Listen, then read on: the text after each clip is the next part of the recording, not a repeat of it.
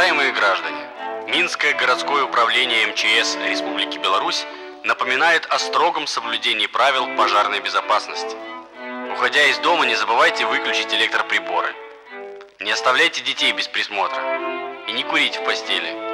Это основные причины пожара. Установите в домах автономные пожарные извещатели. Недорогой и простой прибор поможет сохранить вам жизнь и имущество в случае возникновения пожара.